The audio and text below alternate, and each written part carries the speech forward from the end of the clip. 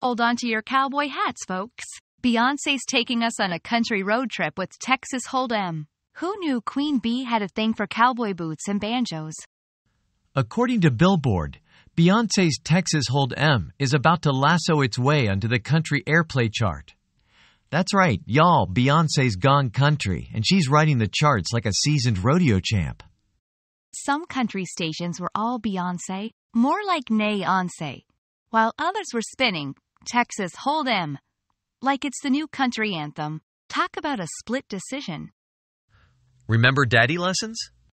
Beyonce dipped her toes in country waters before, but it seems she's diving in boots first this time. Will we see her at the Grand Ole Opry next? Stay tuned, y'all. And that's the scoop on Beyonce's country chart debut with Texas Hold'em. Who knows what's next? Maybe a duet with Dolly Parton? A girl can dream. Yeehaw and good night.